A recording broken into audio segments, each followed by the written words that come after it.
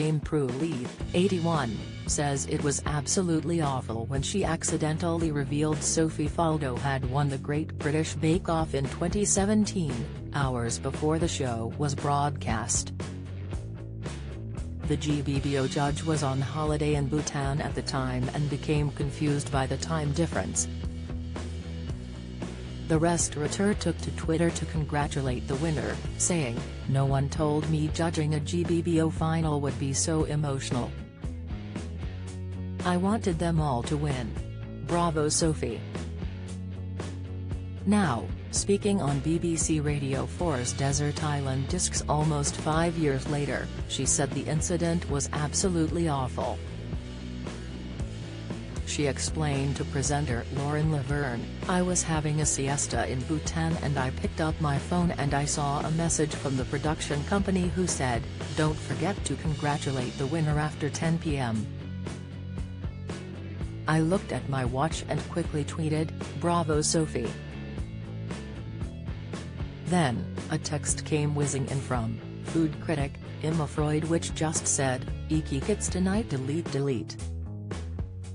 By then I was panicking so much I didn't know which button to press so I rang my secretary, which I do in every moment of panic, and she said, don't worry I've deleted it. Prue's secretary had deleted the tweet a mere 89 seconds after it went out, but it was too late, and it had already gone viral. When asked how she dealt with the aftermath, Prue said she felt so terrible, However, there was a silver lining, and the incident prompted a phone call from the Bhutanese Prime Minister, Tshering Tobgay. The chef continued, What's interesting is the Prime Minister of Bhutan rang me up and he was very nice. He said, you mustn't worry. It just means that you are thinking about your colleagues, Prue then asked the Prime Minister why he was wasting his time talking about Bake Off when he had a country to run. To which he replied, Prue, you have put Bhutan on the map. The faux pas was at the end of Prue's first series when she replaced Dame Mary Berry on the baking show when it moved to Channel 4.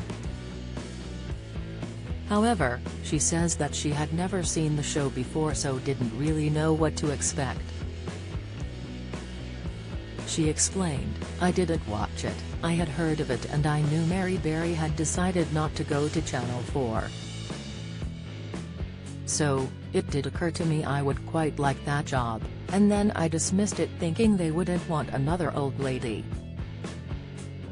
When she did land the job, Prue went to none other than her predecessor Mary for advice, particularly how she should handle fellow judge Paul Hollywood. Prue laughed. I asked, Mary, what Paul Hollywood was like, she said, has very strong, you have to hold your own. He is very articulate and if you don't jump in, he would have said it all. Desert Island Discs airs on BBC Sounds and BBC Radio 4 on Sundays at 11 am.